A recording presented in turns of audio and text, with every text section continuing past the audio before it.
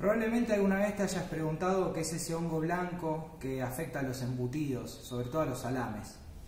Se llama penicillium y lo que hace ese bichito blanco, ese hongo, es proteger a la pasta que está dentro de cualquier agente contaminante.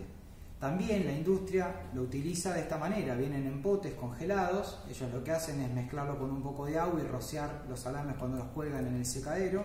Y también está el otro que sirve para fermentar la pasta desde adentro. Se llama Staphylococcus lactis. Esto también ayuda a que el producto tenga una protección extra al momento de la fermentación.